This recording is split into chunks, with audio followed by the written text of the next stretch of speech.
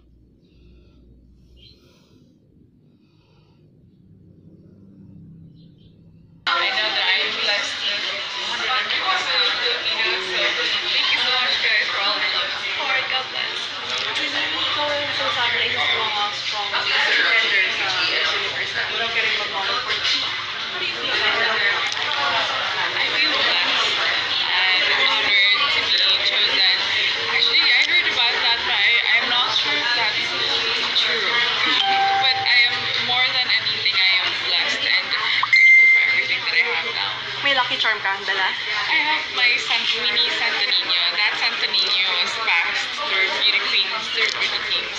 So uh, that Santa Nino has been with.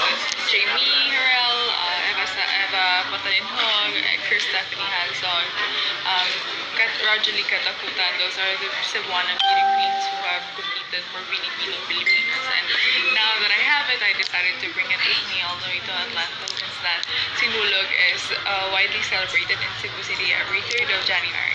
Mm-mm. Third Sunday of January. Ano pasalubong mo sa mga kapwa um, contestants sa Miss Universe? Well, uh, I wanted to bring them candidates ko to bring them uh, dried mangoes with dark chocolate coated. Yes, but I don't want them to get fat. So, uh, yes, kasi delicacy now yun in Cebu. But I didn't want them to get fat, so I just decided to stick with the, uh, with the cheap meat. Sabi ba, baka sabihin sabat at. Pero may mga nililook forward ka ba? Especially si Miss Belgium, Miss, Miss May. It's Filipino, Yeah. right? Right. Yes, I'm. Oh, I'm looking forward to Miss Belgium, also to Miss Thailand, because she's been here in the Philippines way back when she joined 2000 uh, Miss Earth. Yes. And then I'm looking forward to Brazil because she's always been nice. Like, um, but um, leaving down some comments, of, nice comments, like positive comments. So like I like the radiation of her, her aura in, in general. Like it's so positive. May nakakausap ka naman candidates online. Um,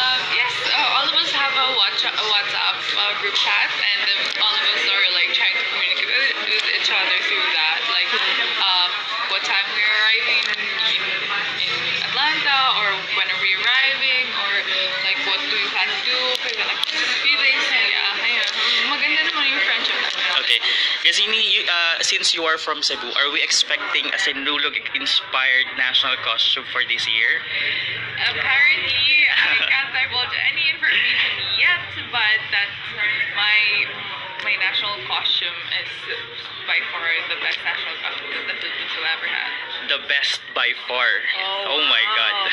Pero Mare, yung totoo, how do you feel? Are you pressured? I, I Are you feel excited? excited, more of like excited because I know that my wardrobe is complete and now that everything has been settled down.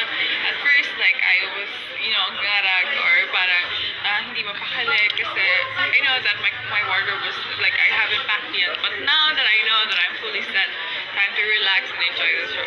Can you give us uh, uh, something to look forward sa iyong uh, Phoenix Walk? I mean, what can we expect sa iyong signature walk?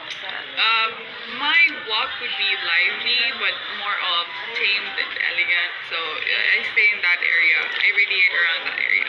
Mm-mm. Kung nabubuhay pa si Lola mo, how do you think she would feel I'm seeing pretty you now? sure she'd be so proud, especially now that I'm wearing a Filipiniana and it's her favorite, you know, like, so I'm pretty sure that she's right there smiling up from up above. Hmm, panghuli na lang, may promise ka ba sa Filipino fans? Filipino, well, since they say that promises are meant to be broken, I will just do my best. And I know that all the Filipinos are backing me up with prayers. So, are we seeing the fo- uh, fifth Miss Universe Miss- right now? We'll, we'll see right then after the pageant. Laban our athletes competing this Games. Um, to the athletes that are, um, break a leg. Not literally though. yeah. Okay, thank you. And good luck. God Thank you so bless. Break a leg. Lahat na. Who are you wearing today? I'm wearing Cary Santiago. Oh, that's Cary Santiago. Who, Yeah. who did your makeup? I, Mommy Brian Galiaga. Ah, Mami, Mami, Mami Bri.